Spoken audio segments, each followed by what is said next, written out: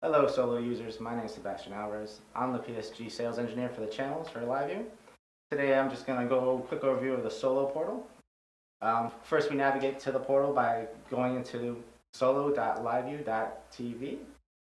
From here, new users could register, fill out the appropriate fields, enter the caption. Uh, it'll send you a verification email. You respond to that and fill put in your username and your password.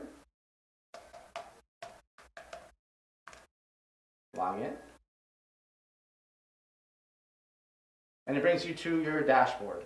Um, if you're a new user, you want to add your first solo unit, you click on the top right, add solo unit, enter the serial number that's uh, on the bottom of the back of the unit, hit submit, and it'll add it to the dashboard. And when it brings it up, you'll see the name of the unit, mostly the serial number, um, the provider that and the status. Uh, it'll be none when you first log in, but to configure it, we click on this orange cloud. This is gonna send, tell it where to send your video that you want it. Um, we have two options. We have our uh, one-touch streaming options and our additional streaming options. Uh, for the additional streaming options, you do have to do some manual work. You, have, you do have to go to the website, get the uh, primary URL and the stream key, and you have to come back to the portal and enter those in. You just give the destination name and select your resolution and you hit submit, and that'll send the configuration to the unit. How our One Touch is different is we work very closely with uh, our partners API, especially especially like Facebook.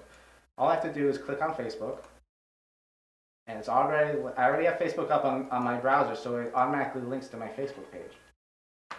Um, from here, I just give it a title, give it a description, pick my resolution, say where I want to go to. I'm going to go to LiveU Inc. I can say live or preview. We do have uh, additional options. If you want to override your resolution and your frame rate, you can do that.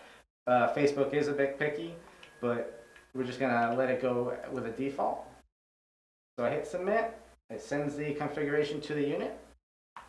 So now we'll see the provider change the Facebook there. Uh, it's ready to go live. So from here, I could go hit the play button on the unit or I could hit the play button on the portal. And just do that. And then it's going to send the signal to the uh, unit to start streaming.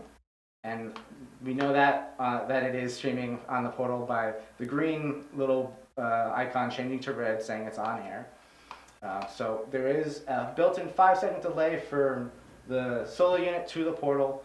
And from the portal to Facebook, there's an additional five seconds there, or five to seven seconds, so it's about 12 seconds total delay.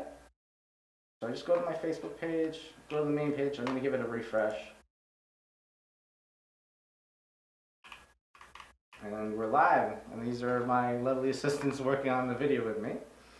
But, so that's how quick and easy you can do it. If I want to do another Facebook, Facebook is a bit unique. Um, first I got to stop this one. Facebook is a bit unique in the way that each uh, start and stop of the stream creates, uh, makes it its own event, so it has its own stream key. So if I want to make a new Facebook stream, all I have to do is click the new Facebook stream button, and again, just enter the information. It automatically gets that stream uh, URL and key for you, and so you don't have to go get it. Um, for other options like YouTube, all you have to do is link your account.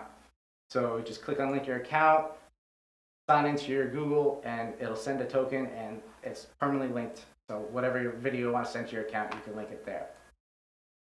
Um, that's it for really all that there is in the preview.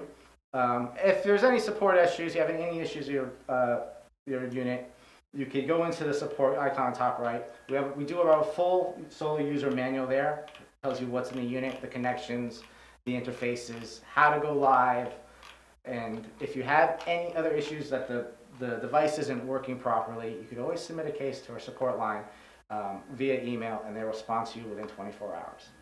Um, so that's it for the Solo uh, Portal preview and uh, thank you for watching.